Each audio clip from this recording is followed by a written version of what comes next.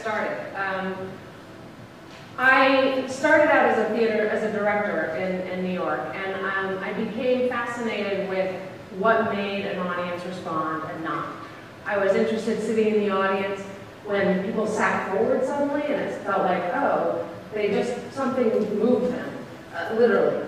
And particularly, I always found, found this experience in Shakespeare productions when I could tell that the first act, many people didn't understand what was going on, but by the second act, they were starting to have moments where they sat forward and often at the same line. So I want to understand that. I was also working with playwrights and directors who seemed to know things intuitively about how to make a joke work or um, how certain staging had to be in order to, to continue to keep the audience's attention.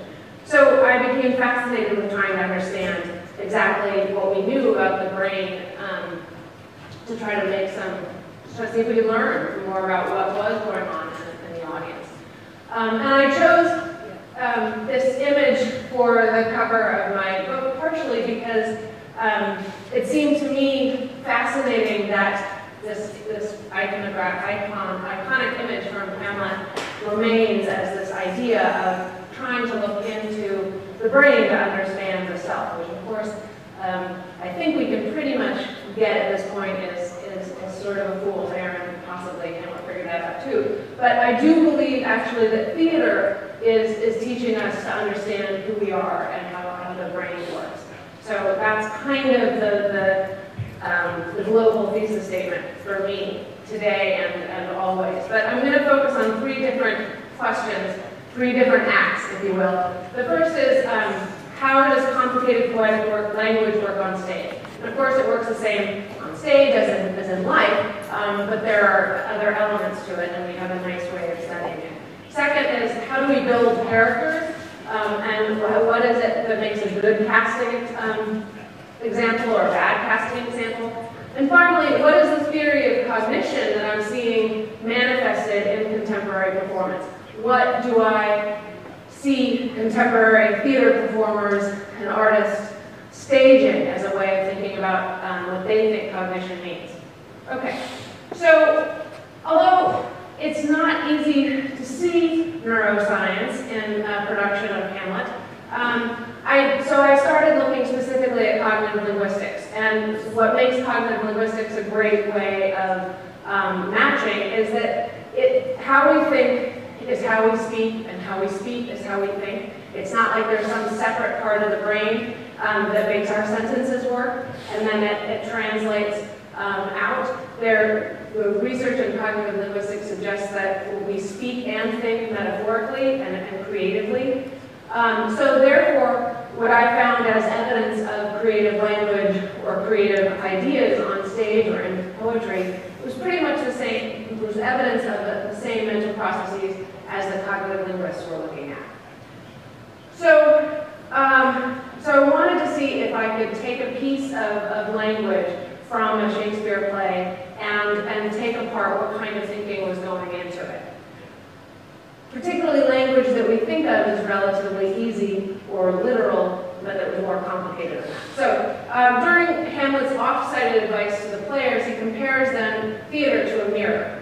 And he says, the purpose of playing whose end both at the first and now was and is to hold a mirror up to nature, to show virtue, her feature, scorn her own image, and the very age and body of the times, form and pressure.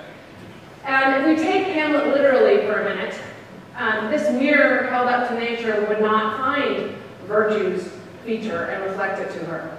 Uh, a mirror held up to nature um, would reflect Eraton, uh, or, you know, nature. Uh, I wasn't sure, but it wasn't going to do this complicated work that Hamlet suggested it was going to do.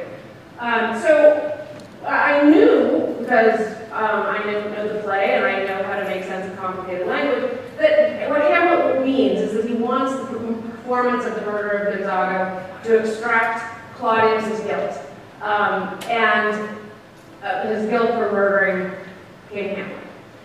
But this is not a mirror that I've run across. In Hamlet's formulation, how the mirror does what it does is not examined or illuminated, only that it's held and things are found in it. So I might understand that what Hamlet is calling for in this theater. I know that he wants this performance to sort of extract particular salient parts of the nature that's in front of it. Um, but cognitive linguistics allows me to look at how he's able to make that meaning.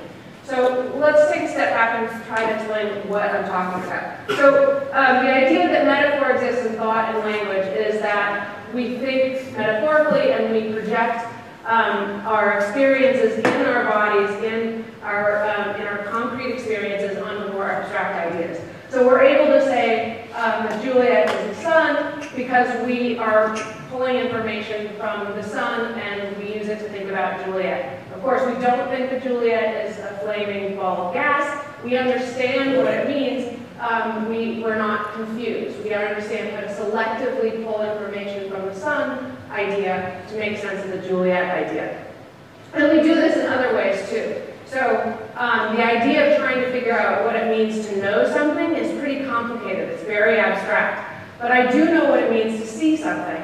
And I see it and, and it goes into my eyes and then I see that thing. Um, and so we talk about, I see your point, or um, her argument was getting hazy. And, and we understand this, this idea of knowledge by thinking about the, um, the visual system. So this is just sort of the, the way in which that um, Mark Lakoff, um, George Lakoff, who was one of the earlier um, thinkers on conceptual metaphor theory, talks about um, how we make sense of language. It's embodied and it's creative. And then uh, Fauconnier and Mark Turner explore how thinking and speaking create networks of association. So it's not just a metaphor, it's actually a, sort of network of associations that get compressed and blended um, to create new meaning. So this, in these sort of networks of associations, certain ideas are, are salient, certain ideas come up, and other things are, are masked. Um, so what about this mirror that Hamlet's talking about? Uh, it's definitely not the mirror that I see in the morning. That's not actually me, but um, that's the mirror I found. It's not the mirror that I use when I'm driving. Uh, and it's not Magritte's mirror. It's not even the mirror in this um, Arnolfini's wedding portrait, which would be the kind of mirror that Hamlet had access to at the time, um, which is a, um, a convex mirror that does strangely extract external things into the picture. Um, but it's not just that, because that's not specifically just extracting uh, other things. It's also, you know, he, he, does mean it to kind of not editorialize. So, um, so what I found through researching the kinds of mirrors that, that Shakespeare would have had access to, um, as well as sort of political tracks of the time and other ways in which they thought about the mirror at the time, um, was I realized that this mirror that he sets up at the center of the play is a complicated network of ideas. It is simultaneously um, a sort of flat, perfect mirror. Um, it's also the, this convex mirror that's able to kind of um, pull in information from outside the frame. And um, it, it, it, involves the holder of the frame because obviously, um, although the, the grammar of the sentence sort of hides the holder. Um, it's the holder that's angling the mirror. So what we have here is a mirror that reflects without distortion, and also distorts. And there's an intention to. This is a mirror that's held in order to extract guilt from um, Claudius or to show virtue in her future. So for Hamlet, then, the purpose of playing is a blend or an integration network. Um, the goal of theater is both unmediated, it simply reflects what it sees on virtue's face, and intentional in its angle, since it has a goal, a purpose. It can neither be accidental or random. The reflection shows virtue and scorn in the details of their outward appearance, while conveying the exemplarity of one and the vice of the other. The fact, the fact that Shakespeare sets up this network of ideas at the center of his play is not just a demonstration of a contemporary idea theory of linguistics. For it, for it to be useful for me, it needs to help me think about the play differently.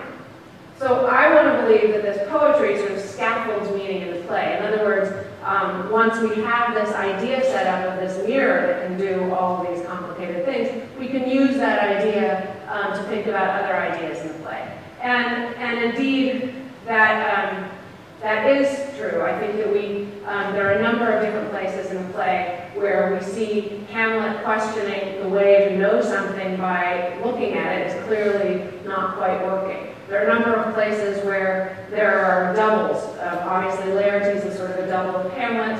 Um, there's a, you know, there are places, even where um, Horatius talks of the ghost and says, I knew thy father, these hands are not more like. So the language does continue to evoke or play with this idea of a sort of a mirror that both is and is not um, a perfect reflecting tool. Um, so I did find ways in which you could think about the play as a research into what does it mean to know and what's stable information and what is not, and how do we go about assessing what the truth is.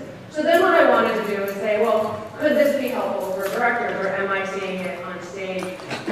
And I did find, I saw a number of productions of Hamlet, and I saw many, many, many that used the mirror, um, either as a prop or as a set decoration.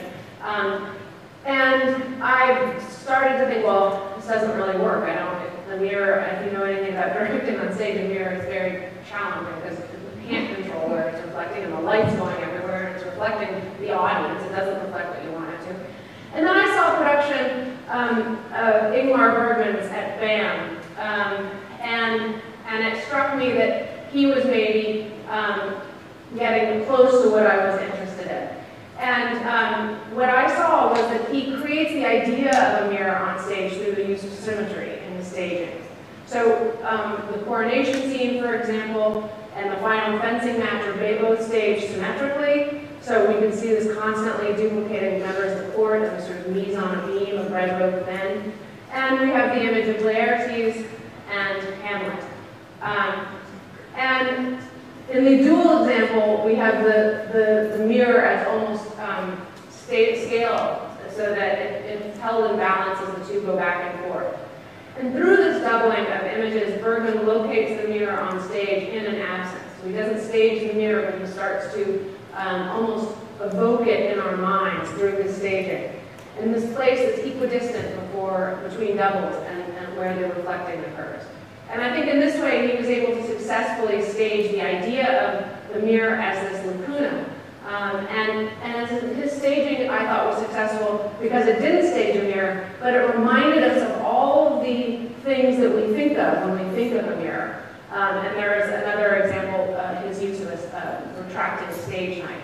Um, so there are ways in which he's, he's treating the audience to, is helping Shakespeare's language by highlighting some of the mental spaces or the idea, association of ideas that we think of when we think of the mirror, and then generating it in, a, in the staging without doing it. So, Act Two, uh, building characters.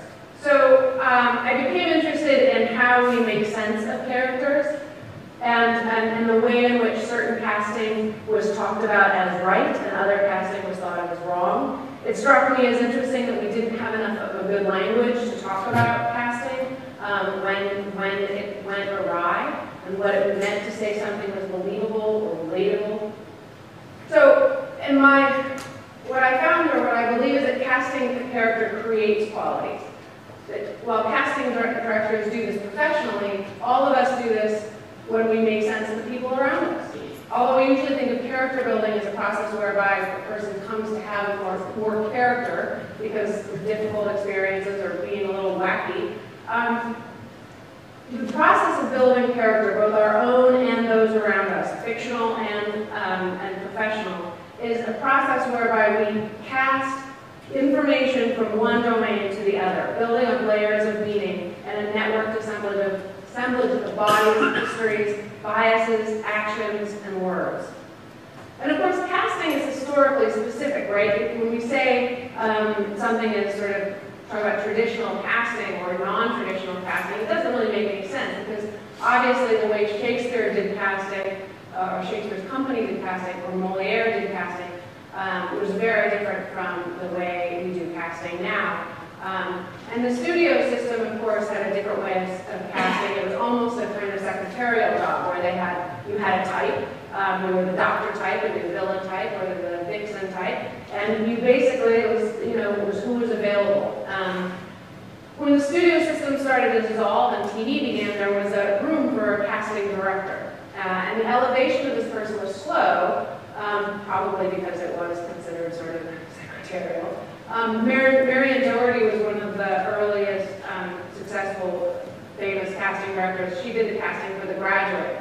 Um, and when she, and the book, of course, calls for a blonde man shortly out of college, and of course, the person that she, um, everyone wanted was Robert Redford.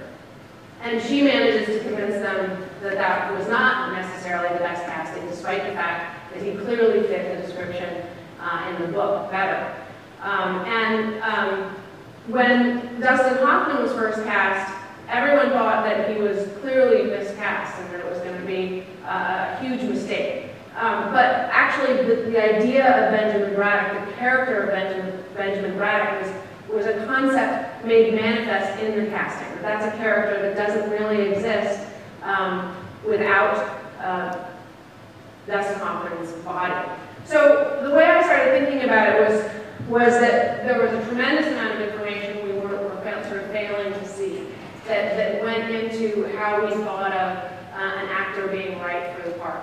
And that obviously there was the text or the line said about him in the play or said to him or said about him, um, things he does in the plot. Well, at this point he's going to sleep with his girlfriend's mother, he's going to kill his uncle. Um, but then, the, and then for some parts, I think there's extra textual information. And obviously, whether you've read the book before um, or if it's a, a historical character uh, like um, Katharine Graham, you have other information other than the text in the screenplay that you're working with. And then you have the actor on stage, the age, race, and body type. And I don't believe that ever disappears. I don't believe that you can successfully act past your age, race, or body type, or genders, sex characteristics. And then the actor's background, and whether that actor is known at all or is completely famous, whether you've seen him in a million roles, I think that that goes into the process whereby we, we construct these characters.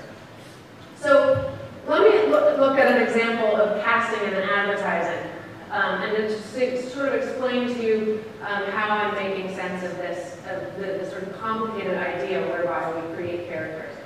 So this is an advertisement. Um, there are three kids in surgical gear holding a knife, scalpel, um, and uh, got a body on the table, a clock behind them, and, and the, the headline says, Joey, Katie, and Todd will be uh, performing your bypass. This threatening scenario probably persuades the viewer to read the text in the body of the ad and what horrible situation am I in where Joey, Katie, and Todd will be performing my bypass. And the, the text explains that our education system is not training students in the kinds of ways, that they're, the kind of knowledge that they're going to need, um, and that if we, with this reduction of the standards of America's education system, um, is going to eventually affect me. Um, and now I'm wishing I supported education, is the work that the ad is trying to do. I don't actually think that in the future we're going to allow seven-year-olds to perform surgery, um, but I, I understand that what they're conveying is that they're compressing the intellect and the skill of seven-year-olds with the role of a doctor.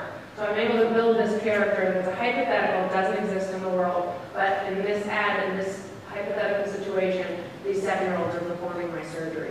by casting these kids in these roles, um, we see this critical task as uh, being, prepared, being performed by unprepared students. They were poorly educated in the past, and I didn't seem to care enough to support education, and now they're about to cut me open. I don't think that I'm usually afraid of doctors, I'm certainly not afraid of seven-year-old kids, but in this situation, I've suddenly got my emotions involved, and now I'm very afraid of these seven-year-old kids performing my surgery. So then I think let's support um, education. Um, but again, this comes to me despite a logical weakness that the ad is working with, because of course supporting education, it does not necessarily mean um, that my future doctors are going to be good at my bypass, and it doesn't necessarily mean that um, that um, these three kids are, are going to, to be educated. Um, but in this, this uh, world that's been created by this casting choice, I understand that supporting education will generalize to um, more likelihood that I will be um, better served by my, my surgeons. Um, and so we have the parts, which are the surgeons, and the script, and Katie and Todd, and then this casting is just a depiction of these seven-year-old bodies. The ad strategically miscasts these characters in order to make a point. So, uh, of course, the famous um, example of, of brilliant miscasting comes from Hamilton. Casting Latino as Alexander Hamilton and African American as Aaron Burr does not confuse our historical recollection of the character, nor does it ask that we look past the race of the actors. The casting creates new characters in a network of history, future, and um, America. Casting Lin-Manuel Miranda is not about mimesis. It's not because he looked like Alexander. It's not about bestowing opportunities on talented performers. It's about how the racial and ethnic makeup of the performer speaks with and through the story of the birth of democracy. Without representing on stage the young, scrappy, and hungry people who might rebuild democracy now, Hamilton isn't Hamilton. If the body playing the part does not match the presumed race or gender of the character, spectators learn protocols of reception that question the central importance, the normality and invisibility of white male bodies.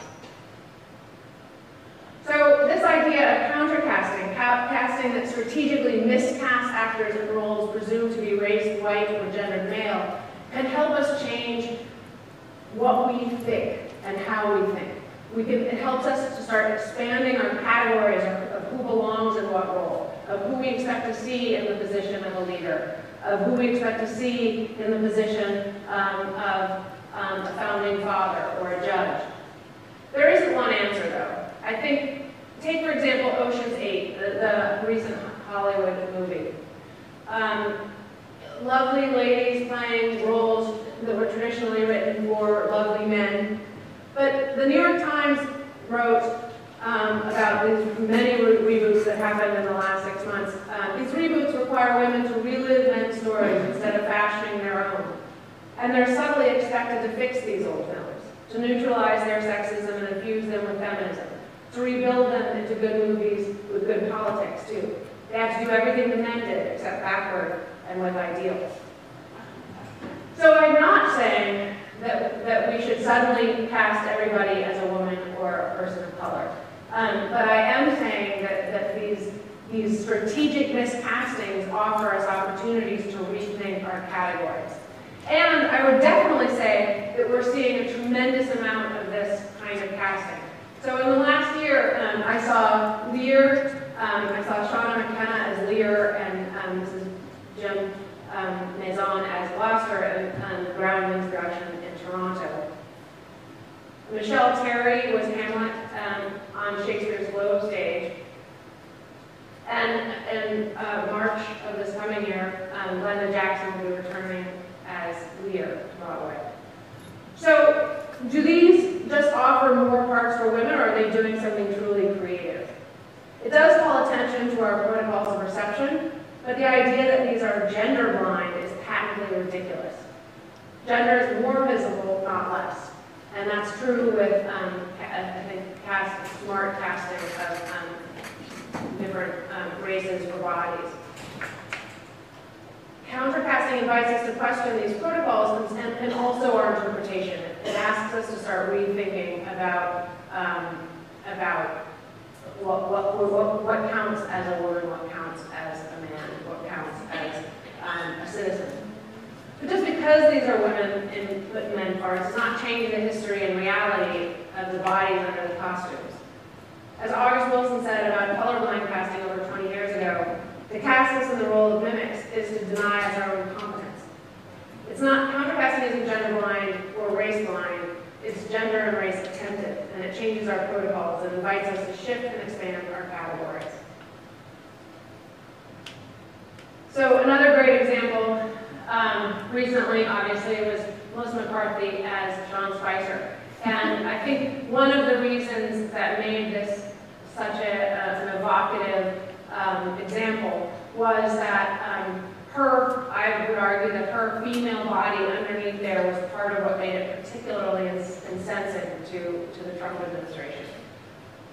Um, but we're seeing a lot of this. Um, we're seeing a lot of um, performances where um, we have gender um, and casting being used as a creative force in contemporary performance. So Target Margin, um, in their production of Pay No Attention to the Girl, um, they use different races and genders um, to, to do a lot of their parts. But what I was struck by actually was this moment at the very beginning of the play um, where um, one of the actresses, Caitlin, I believe, um, starts the play by saying, hi, I'm David Herskovits, the director, and um, I'd like you to turn off your phones and invite you. And it's not commented upon, um, but, but what it does is it makes you realize that it reminds you, oh, this is a play, and she's taking on this part, and pretty soon going to take on another part. And it uses um, this momentary confusion around, well, I know she's not um, David Herskovits, the director, um, but it, it, it, forces you to look at those, those assumptions and to make you realize that in, in a theater, you get to decide to be whoever you want. Another example of um, this company is actually here, um, is Sister Sylvester's The Fall. Um, and in this production, they actually cast a chicken as a famous director. Um, and the chicken is live on stage and they're talking to it, and the chicken is going around. Um, and obviously there are a tremendous number of things about, uh, about the production I thought was really exciting. But, and this obviously having a live chicken on stage is hilarious. Um, but it wasn't that about that. It was about the sort of creative force of, of deciding um, that in this particular moment, the chicken is going to play the director. Um, and then um, recently, Forced Entertainment's productions, The Complete Works, um, tell the story of all of Shakespeare's plays, um, and they cast, they use household objects. So I believe, I'm not exactly remembering exactly which one this is, but um, so the ketchup will be um, Rosalind, and the linseed oil is Orlando, and they tell the story and they move them around. Um, but again, it's amazing how powerful these stories are, and, and we, we're, we're able to go with it. Okay, so finally, I'm, I'm interested in, in what I'm thinking of as staging cognition.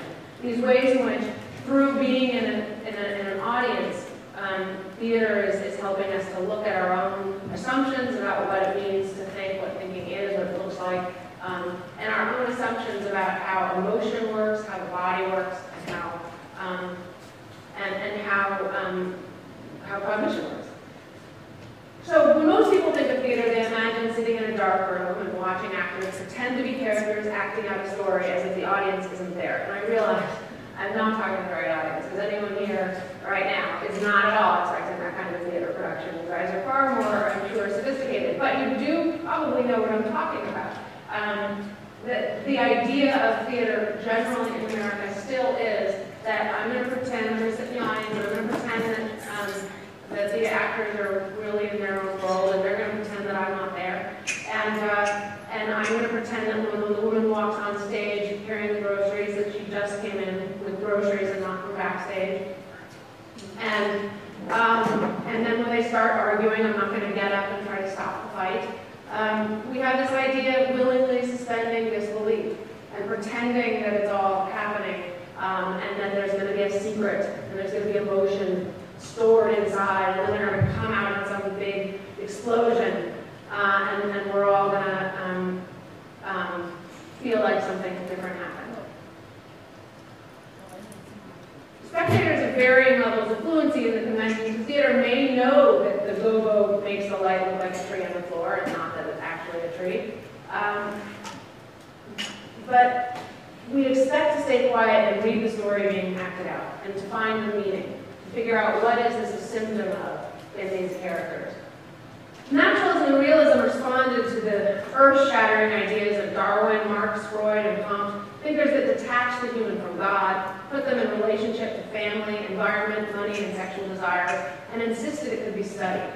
So the theater that came out of this incredible intellectual movement of the 19th century um, was about staging these ideas of class struggle, of inherited traits, of repressed sexual desires, um, and of a society that has influence on each other and, and influence from, from the environment.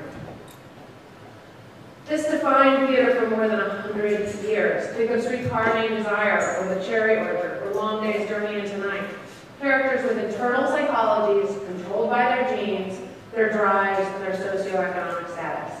We watch them and say, yes, I too have an inside, deep feelings and memories that will haunt me until I purge them dramatically. And I'm quite sure it's all my parents' fault. This genre of theater stages this Freudian self and this Cartesian mind, where I think with my brain and there are deep feelings going on down there that I don't want to deal with.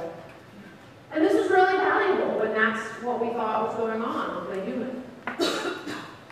when this was the dominant scientific paradigm. More and more, though, I find myself in with spectators who are engaged in the environment of the theatrical experience, not asked to make meaning, in fact, generally frustrated in an attempt to make meaning, but given opportunities to enact an experience. Through engaging with this strange experience, this moment in the theater, we're charged to find new ways of picking up, of exploring the ideas involved. This is the kind of theater I'm seeing now. Theater that stages an embodied, embedded, and extended cognition. Okay, what the heck does that mean? So um, there's a sort of relatively new set of theories in, in cognitive science and philosophy um, that's called 4E cognition. Um, and I'm sure that if we, you know, you talk to somebody, they might say there's a fifth E, but I hate when people start talking about that. Um, but what this basically means is that, um, and there's a spectrum. Um, embodied cognition means that we think with and through the body that we have, that cognition isn't um, separable from the body. And this can be anything from, well, obviously what I'm thinking about has to do with how much food I've had that day or how much sleep I've had, to um, recognizing that there are certain things that I, I, I, think only because of the body that I'm in. Um, embedded cognition depends heavily on offloading cognitive work and taking advantage of affordances or potentials in the environment. So, um, so this might be, for example, how um, the way you think in your, your office space is different, that a certain amount of the tasks that you need to do, you, you sort of set into the environment. Extended cognition argues that actually we think that the, the thinking extends beyond the skull, beyond what they could say the skin and bones, um, into the environment. That um, it ex extends past the boundaries of the individual organism, encompassing aspects of the social, interpersonal environment. So we think with and through um, the environment we're in. Um, enacted cognition means that it's inseparable from action. Thinking is actually what happens when we walk across the stage without falling or without um, getting lost. Um, when we sit down with it, by adequately figuring out where we need to, when, how to lower our body. And that, that thinking is, is not something that um, is represent, represented, it is, it is a process that we, we take in the body.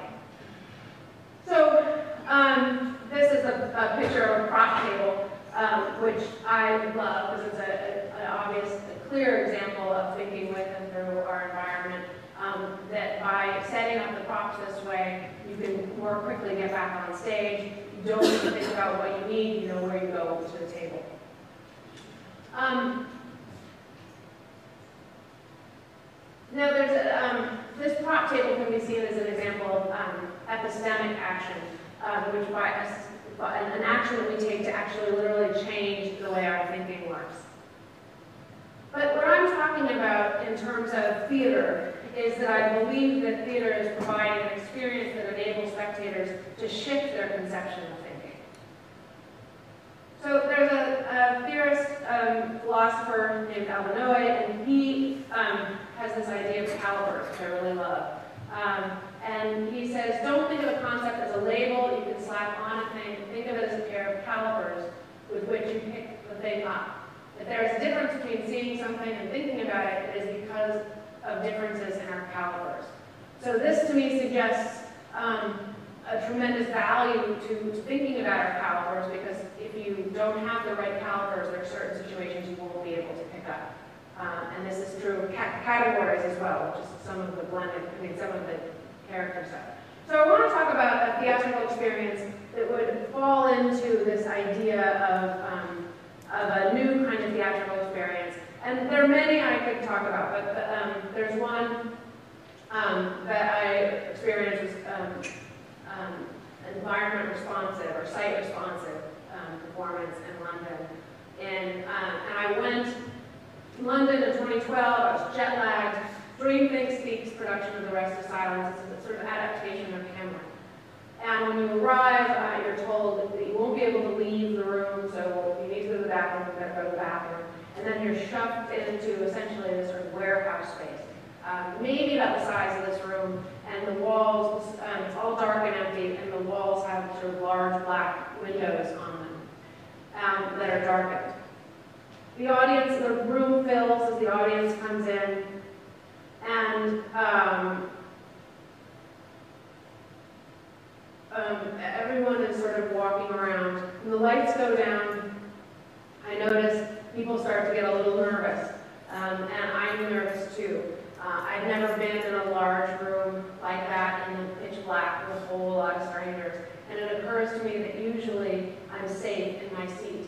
And so I, I know that the, the usual contract whereby I'm not going to do anything weird and no one else is going to do anything weird, but if they do, at least I have my little seat and I'm safe, is suddenly broken. And I know that I'm free to walk around as is everyone else. But then the lights change and, and, these, and these spaces open up. And the, they are happening on all four sides, and various scenes from Hamlet happen all around us. Um, the first scene, Claudius wakes up out of bed, um, and he goes into a little room next to his bedroom, and he's practicing his speech, um, the coronation speech. And he can't get too much, too far through it before he gets frustrated and starts again. And throughout the play, this is what we're seeing. We're seeing characters rehearse. We're seeing characters set up for scenes that they're about to take to do. Um, and then he, when he washes his face in the sink, we actually see um, the, the, the, perspective, we see through the water, um, through a screen on the, the ceiling. So our perspective shifts over and over again as we're walking around this room, making a choice as to which characters to follow, which things to, to pull apart. It requires us to know the play, and it requires us to some degree, um, and it requires us to, to shift our perspective over and over and over again because we're physically moving through the space.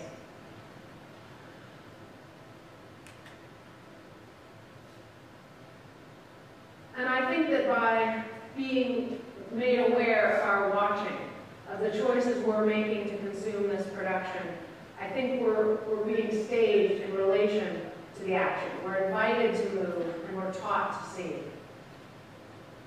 Ophelia practices what she's going to say to Hamlet about those remembrances of his, or Rosencrantz and Guildenstern practice how to sound believably casual to Hamlet. In order to make sense of this, we have to call our knowledge of the narrative, and we as well as our understanding of rehearsal and pretense. Throughout the play, the audience is given perspectives that highlight our perspective and call attention to the perspectives at work in the play. Our bodies stage this as well, since we must move, we must move to change our perspectives. The audience moves and flows from wall to wall, conducting its own way through the play, bumping into each other, spreading out, closing in, ebbing and flowing like a murmur of starlings. I have to move around, I have to get out of the way of that tall guy. Um, I'm involved and engaged in the perspective from which I watch this performance.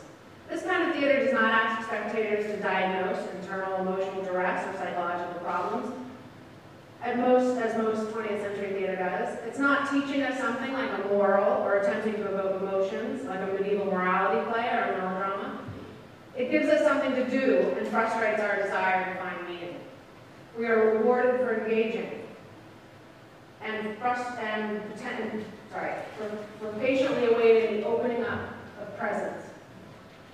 We know the narrative, to know English is to speak Hamlet, and that her narrative must be relied on to make sense of the fragments. This Hamlet does not have the mousetrap scene, and I'm struck by how that repeated rehearsal, the obvious performativity, and the centrality of our shifting perspective means that the whole thing feels like its own mousetrap, catching our conscience as we ebb and flow around the room. So I'm seeing a lot of this kind of thing. Um, Robert, I'm sorry, Richard Maxwell's work um, often has a completely different idea of how emotion works.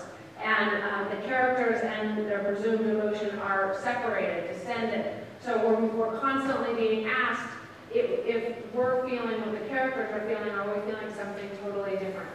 Um, another production of Hamlet um, actually invited the audience to be part of the, the, the casting of Hamlet the first part of the play involved three potential Hamlets sort of auditioning for it, and then the audience had to get on stage and choose their Hamlet. So this idea of instability, the instability of the character, the instability of knowledge, um, was, was made part of the performance. Thank you.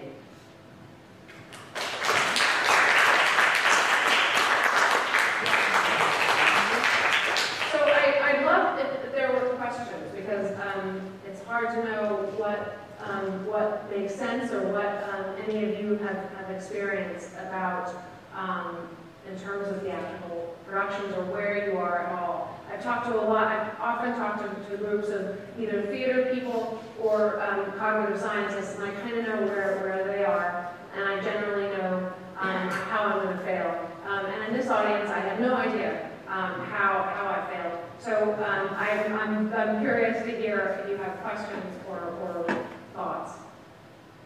Yeah. I, I thought you started off the conversation to tell us what quote unquote movie, because that was your, you started saying, forward, because they're moved, um, by other than, so I thought you were gonna tell us. Oh, yes, I have a secret. Um, well, first of all, Can you repeat the question? Yes, yes, she was saying that um, I had sort of promised to, to explain what moves people in an audience. And, um, and what I'll say is that um, partially I'm being um, coy around the idea of um, that we're being moved physically and we're being moved to rethink our, our minds. In terms of what I think move people, I do actually believe that um, we find it incredibly satisfying um, to be challenged to think new thoughts, to make new sense of things, um, to, um, to be frustrated, um, to be asked to challenge our assumptions about how we're made up. Um, I, for one, um, don't, don't, I no longer feel moved about stories of men tragically unable to fulfill their life dreams or being mad at their mothers. Or, I mean, I just, I don't really care about individuals anymore. I, I want plays that are interested in how we operate as a network of beings. But I do, when I watch these things that move me, where it's clearly not about the individual, but about the social system coming together in novel ways, not every, I mean, a lot of people are still moved by um, individual stories, but, but my interest is in the way in which, particularly avant-garde theater, um, is finding new ways. And it's not going to be, you know, you're still going to go to, to Broadway or, or films for, you know, the tragic divorce story and the baby that's been buried in the backyard for generations or whatever, and that's going to be moving. But I do think that um, theater artists are more and more um, dispersing what we're looking at as the central character to care about. It's dispersing um, where emotion lies, what evokes emotion. So something like Richard Maxwell play, no one's feeling the right emotions for what they're talking about. Um, but, um, and so you can't possibly feel emotions for a particular character. They're sort of frustrating a certain amount of, of empathy. But you can feel, you feel, you end up feeling a tremendous amount for the situation, for the story they're telling. But again, I do, I'm not saying everybody does.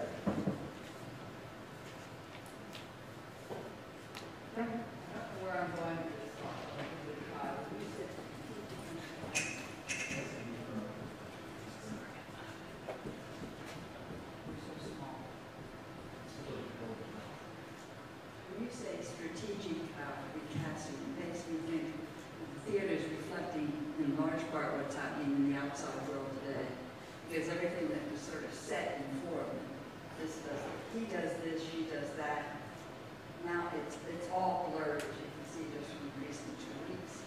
So this strategic miscasting made me look at the new theater, some of which I've seen, and which I I have to grasp, understand. It gave me a better context for it. So, Thank you.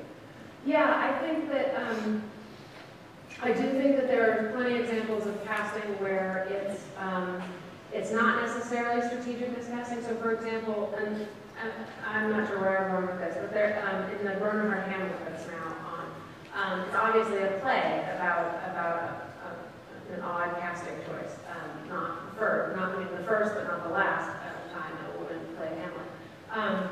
But there, one of the, um, the women in it who plays Ophelia is a, is a black woman.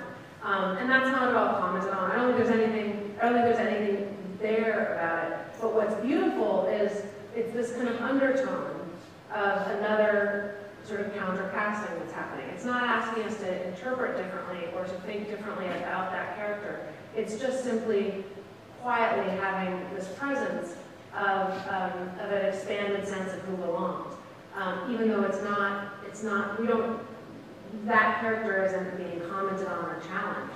Um, but I do think that that's right, and, and the reason why I find it, the, the idea of casting is because I do think that it's important because of what's going on. I do think it actually does matter. That if we think about casting as something that we're actively doing, and these categories we're making um, are, are alive and changeable, um, then we can we can look at them we can say, well, what? Why is it that we decided this person is presidential and this person isn't? Um, what makes it that, um, you know, I assume that if a, man walks into a room with a white coat, I've already decided he's, he's my doctor. Um, and there are a lot of ways where I, I see people who are playing with counter casting, playing with performing a role they don't belong in, in order to start messing some of that up. And I do think there's potential there.